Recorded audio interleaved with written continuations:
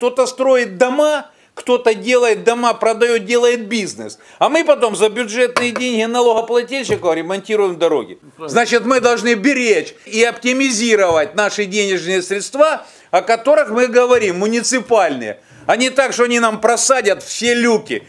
Все пробито, все засажено. Мы на следующий год начинаем выделять деньги, там это все ремонтировать.